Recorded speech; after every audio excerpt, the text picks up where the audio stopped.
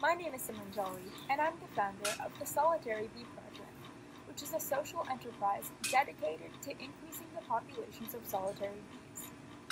Now, many of you are probably wondering, what even are solitary bees? Well, solitary bees are a native pollinator species, and they're very different than honeybees. In fact, one solitary bee pollinates the same amount as 100 honeybees, and so clearly without them, global ecosystems and food security would completely collapse. However, solitary bee populations are quickly declining as a result of habitat loss, parasites, and pesticides.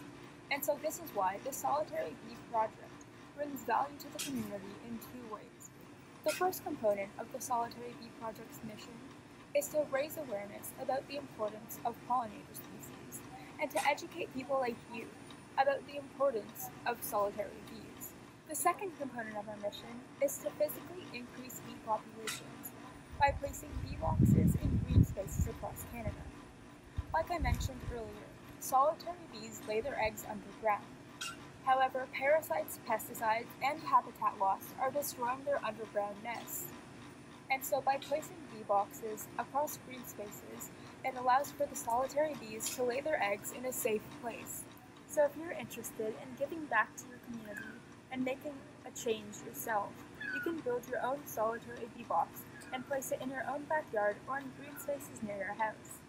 So you would build the basic structure of the bee home and then fill it with either bamboo or wood with holes inside to allow the bee to actually lay their eggs. So now once you've successfully built your own solitary bee box, you're going to go into your backyard or whichever green space you intend on hanging it and you're going to go to a tree facing the east. Once you've not only built but you've placed your own solitary bee home, you can go to our website and see how you've actually contributed to the cause. And so you'll see an interactive map on our website.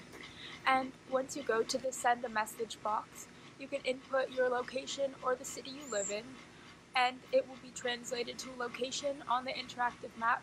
And you'll not only see how you've contributed to your own community, but how you've bettered the world through your own actions. And if you have any further questions about building your own bee box or about my mission and about my organization, please don't hesitate to send me an email or you can message me through the website and I'd be happy to answer any questions you have.